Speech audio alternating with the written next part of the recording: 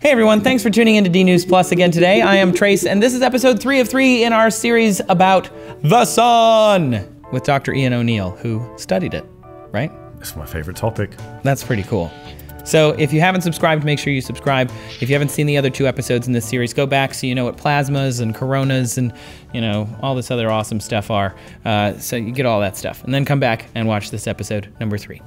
So Ian, so far we've talked about what you studied, little teeny coronal loops, and we talked about Svalbard, which is cool, and you know where you were studying things. We also uh, talked a bit about kind of how the sun is put together and how we look at it. Mm-hmm. But why do we care about all this stuff? I mean, the sun is just going to hang out there. It's going to be there for as long as we are alive, and our kids and our kids' kids and our kids' kids' kids and our kids' kids' kids' kids, for like a long time. Yeah, for a couple more billion years. So Right. really, who cares? I Yeah. mean, that's really the question. It's like scientists have always got to justify their existence, not only to people like us saying why, Yeah. but also uh, funding bodies, you know, where they get their money. So they have to justify their science. And for solar physics, I think it's pretty clear. And the sun can affect our everyday lives. Not to give you a sunburn, obviously that's a concern, but It that's is. really, you know, a health issue. Yeah. Um, whereas space weather is kind of important. Now, people, when you think of weather, you think, you know, it's raining outside. Right. And you don't really think how the sun affects space weather. But space weather is basically any impact that the sun has on the Earth's environment. So basically, a huge coronal mass ejection could hit Earth to create this uh, geomagnetic storm, which could in turn create all these amazing aurora in in, in Svalbard. Yay! I got to That see. sounds great. You didn't get to see because it's I didn't 24 know it hour was light. 24 hour daytime. So then once the auroras happen, though, is that all that's really? I mean, it sounds cool. It's like, oh yeah, you see CME, the coronal mass ejection or CME hits the atmosphere and makes uh, all this pretty colors. But isn't is that it? Like we care because we want to know more about these pretty colors, or Well, yeah, because they are pretty. Come Yeah. on, they are pretty colors. But when these particles actually hit Earth, they generate like a current that flows around the atmosphere. So during times like solar maximum, which is when these flares and the solar wind is more intense, and when coronal mass ejections happen. which we're in now, if I'm not mistaken. Uh, we're we're, at the no, end we're, of we're- yeah, we're actually approaching solar minimum right now. So Oh. the sun is very quiet. Um, there's some weird stuff going on with the sun. So we still get aurora. We still get the occasional geomagnetic storm, which is basically the sun's um, magnetic field interacting with Earth's magnetic field, injecting all this plasma, basically these charged particles, into our atmosphere. And what happens when they actually get into our atmosphere and they rain through the upper atmosphere?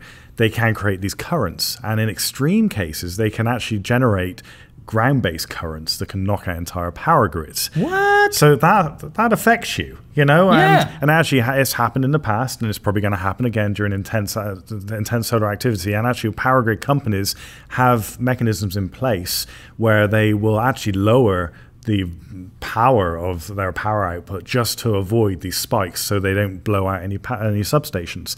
And so there's like a few doomsday theories around this idea that perhaps a solar flare could knock out international power grids, and if that happens. You don't have any power, and that's a problem. It Takes a long time to put all that stuff back together. again. exactly, and it's expensive. Got it. So by watching the sun and by looking at this space weather, then we can understand more about how that space weather is going to affect us here on the ground uh, because of the effects in the atmosphere and creating currents and all of that stuff. So Exactly. it can affect. Uh, we were talking a little bit about that. Uh, the other day, so it can affect radio transmissions. How does it do that? Yeah, so I mean, like um, when um, on the surface, in the area that I was actually really interested in, the lower corona, you get these um, these magnetic field lines that cross, and if they cross, they can reconnect. And so it's cross the streams. Yeah, don't cross these streams. No, because they produce a big flare, and these can be X-ray flares. So they'll produce X-ray radiation. X-ray radiation can then, and they happen like immediately. So as soon as you see the light coming from the sun from these flare, you're already hit by the X-rays. Oh, So you can't really predict that. So if we can see these active regions kind of rotating into view, and there's a high chance, like a high probability of perhaps an X-ray flare happening, you can get the astronauts indoors and they- Oh, they can so stay protected. outside when an X-ray flare Exactly. would cause what would be a large amount of radiation to pass by the Yeah. International Space Station, which is outside of Earth's protection. Because my Yeah. assumption is, if you're on the surface, the Earth protects us. The atmosphere and the magnetosphere protects us from. Yeah, that. so, so the atmosphere is th- thick enough so actually um, absorb most of the energy from X-ray flares. So down here on Earth, we're not affected. We don't get Mm-hmm. an increased dose because the atmosphere has done its job, it's taken one for the team, and it's absorbed all of this energy. I'm padding it. I'm padding it. Yeah, right now. absolutely. Well, and, and and funny enough, so when it does take one for the team, the ionosphere, which is the upper atmosphere where the auroras happen, it actually expands, it heats up, and that can be a, ha- a secondary hazard in that the atmosphere gets bigger. And what happens when the atmosphere gets bigger? Well, satellites that are orbiting in the upper atmosphere can experience some drag. So when they experience drag, they slow down and they can actually have their orbits modified. So basically, Whoa. satellite uh, satellite um, um, companies they have to make sure that they can correct their orbits or at least know that when the atmosphere is going to grow. And also, I mean, just just the fact that we're going to get hit by X-rays is not a good thing. Yeah. And it can actually ionize the upper atmosphere and create radio blackouts, affecting like air traffic control and radio transmissions around the globe. Wow. So there's a lot of impacts that can happen. That's so this crazy. Is, this is how you get your funding because I was interested in the stuff, the, the, the origin of the solar uh, of the solar wind, the origin of these flares and coronal mass ejections, and it may have seemed like a very small area that I was studying, but it had a greater impact on the larger community of solar physics because we want to know what triggers these events, and coronal loops are one of those triggers. wow, that's crazy. It's cool. So when it comes back to coronal loops, though, it's about those magnetic field lines, and when those magnetic field lines get really, really big, we end up getting things like sunspots. Is that right? Yeah, so I mean, these um, these coronal loops are created from the um, from the sun's interior um, magnetic field. So these are coming from deep within the core of the sun. Basically, it's called the solar dynamo, where the where these magnetic fields are generated, and these magnetic fields have to go somewhere, so they end up poking out through the the sun's photosphere. As they do this, they kind of push aside the upper layers of, of the sun. Yeah. So what you see is kind of counterintuitive. You look into the sun, you're actually seeing a cooler sun. So the in- interior of the sun is actually cooler than its surface, if you can imagine. It's kind of weird. That is weird. So this is what I was trying to work out. Why is why is the the atmosphere of the sun hotter than the interior? But a very obvious um, thing to see is, is uh, these these sunspots that basically are these upper layers being pushed aside by the uh, by the magnetic fields from inside. So you're actually seeing into the sun. And where you find these regions of a lot of sunspots, when you have like this massive outbreak of sunspots on the sun, it means it's could be in very it's very magnetically active, and there's a high chance that these magnetic fields that are poking out through uh, through the the sun's surface will reconnect possibly cause flares, possibly create coronal Don't mass cross the streams. crossing the streams like Don't do crazy.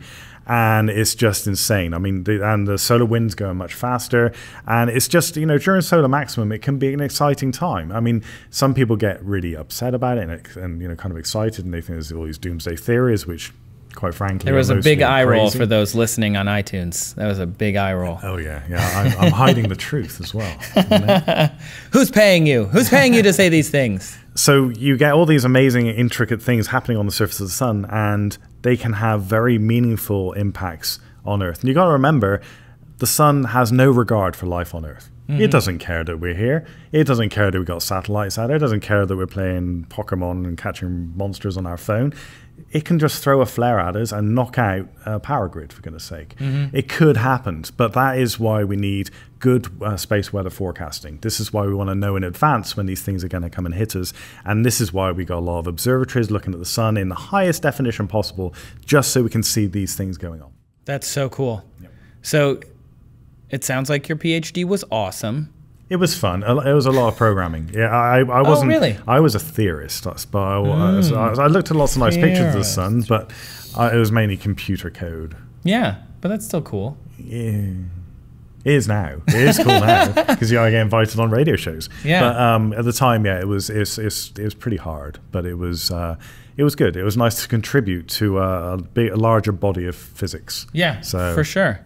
And uh, I think just to kind of wrap this up, your studying of the basis of solar weather, which can affect so much of life on Earth, especially now that we are an electrified society. Mm-hmm. Um, uh, which I guess sidebar really quick. I think you mentioned that this has happened before, Yeah. and I remember reading about it because it happened in like a, a time before we had been fully electrified. So it knocked out a bunch of power grids, and Yeah. people weren't really sure what would happen. Yeah, I think it was in um, in Canada back in uh, Yeah. '89. I think. Yeah, something like that. And so it just wasn't the same as it is now. You know, now so- we are even we're exponentially more electrified than we were even 30 years ago. But also, we're much better at predicting space weather now. So, and there's um, serious efforts underway to predict these problems because real world events could happen in the wake of these solar storms that governments are like, well, you know, this could cause big problems for our nation if uh, if our power grid gets knocked out or we lose GPS. GPS satellites, you know, they are vulnerable up there. So